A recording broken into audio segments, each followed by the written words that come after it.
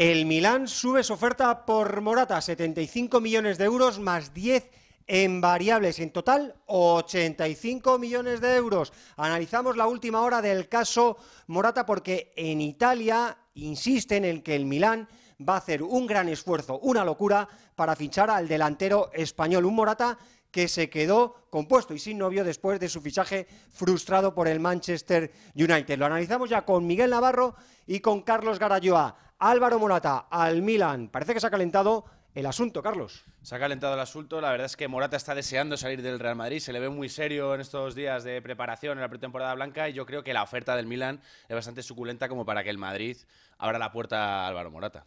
Miguel, pide el Real Madrid 90 millones de euros. ¿Podría convencerle esta nueva oferta del equipo italiano, 75 más 10? Yo creo que al final el Milan incluso ha, llegado a hablar, eh, o el entorno un poco de, la institución, en que el fichaje está muy caliente, el que el fichaje está muy cercano y que la situación podría precipitarse en los próximos días o incluso como muy tarde, semanas. Yo creo que la oferta es, eh, yo creo que imposible de mejorar, 75 millones más 10 en variables son 85 millones por, por Álvaro Morata Imagino que al final los variables serán eh, prácticamente casi todos cumplibles y al final estamos usando 85 millones por un delantero suplente en el Real Madrid. Yo creo que debe aceptar. ¿Qué está pasando en el Milan, Miguel? Que llevan gastados el nuevo grupo inversor chino más de 200 millones de euros y que se han fijado en un jugador del Real Madrid. Sí, yo, eh, la realidad es que el Milan está muy lejos de, lo que, de lo que dicta su historia. ¿no? Es un equipo que lleva ganadas siete Copas de Europa y que últimamente no pasa ni de la fase de grupos. Yo creo que la inversión es necesaria.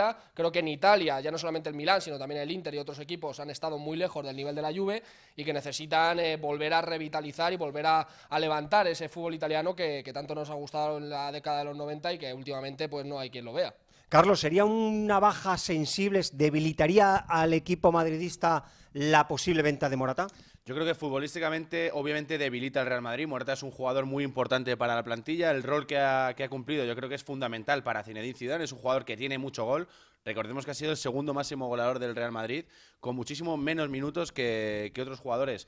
Pero en cuanto al buen ambiente en el vestuario, en cuanto a que estén todos a una, creo que podría ser un error que Álvaro Morata se quedara en el equipo en contra de su voluntad. Podría crear pues algún tipo de mal rollo en el vestuario, podría, podría romper un poco esa armonía que ha llevado al éxito al Real Madrid.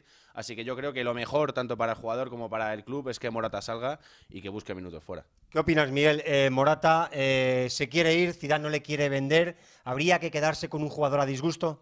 No, yo creo que el Real Madrid debería vender a Álvaro Morata. Yo creo que al final es la decisión del jugador. Sí se dice mucho esto de que los jugadores juegan donde quieren, pero yo creo que al final eh, Morata debe, debe afrontar una salida. Él ya tiene la decisión tomada y yo creo que el Real Madrid con esta oferta, entiendo que haya ofertas de 50 60 millones que se desestimen, eh, porque entre otras cosas el Madrid cuando va a preguntar por cualquier jugador eh, directamente le ponen 80, 90, 100 millones de euros. Entiendo que el Madrid también resista ese tipo de jugadores, pero yo creo que ya la oferta es bastante buena, bastante suculenta y debería ir pensando en, una salida y también en, una, en un jugador que vaya a llegar, porque claro, el hueco de Morata también hay que cubrirlo. Ese es el problema. Eh, ¿90 millones de euros es una exageración lo que pide el Real Madrid, Carlos? Es una exageración, eh, desde mi punto de vista sí, pero viendo cómo está el mercado y viendo lo que se han pagado por otros jugadores, yo creo que está en disposición de pedirlos porque Morata es un jugador con muchísimo cartel a nivel europeo, a pesar de esa suplencia en el Real Madrid. Es un jugador muy deseado, está, se ha visto por, por muchos equipos de los más punteros de Europa y creo que el Madrid está en disposición de, hacerlo y de hecho creo que van a poder sacar ese, ese precio, un precio muy cercano por, por, Álvaro Morata. Miguel, debería entender los aficionados que la principal razón de Álvaro Morata para querer seguir del Real Madrid es que necesita jugar con regularidad, sentirse titular y todavía ponérselo más difícil a Lopetegui para ser el delantero de la selección española? yo creo que ahí está la clave. Eh, al final, eh, Morata lo tiene muy sencillo para, convencer a cualquier persona que vea el fútbol. Eh, con ponerle Mundial Rusia 2018, yo creo que ya todos los aficionados entienden que si no juega y si no es titular en un equipo, lo tiene muy difícil. Ni hablar incluso si ya Diego Costa ficha por el Atlético de Madrid. Ya en ese caso lo tendría en chino. Así es. Bueno, pues esto es la situación, la última hora del caso Álvaro Morata, porque el Milán ha subido su oferta y se va acercando a esos 90 millones de euros que pide el Real Madrid. Morata podría tener su próximo destino en el Milán. No nos olvidemos del Chelsea, que también Antonio Conte se ha fijado en él. Álvaro Morata se quiere ir del Real Madrid, Zinedine Zidane no lo quiere vender y como hemos dicho, tiene una charla pendiente el jugador con el presidente, con Florentino Pérez. Hemos analizado la última hora, esa oferta del Milán por Álvaro Álvaro Morata con Carlos Garayoa y Miguel Navarro. Ahora, como siempre, nos gustaría que ustedes nos dijeran qué piensan, que participen, que opinen sobre uno de los culebrones del verano, sobre Álvaro Morata. Díganos todo lo que opinan en nuestro canal de YouTube, en punto Suscríbanse y si les ha gustado nuestra tertulia, nuestra información y la opinión, nos dan un like.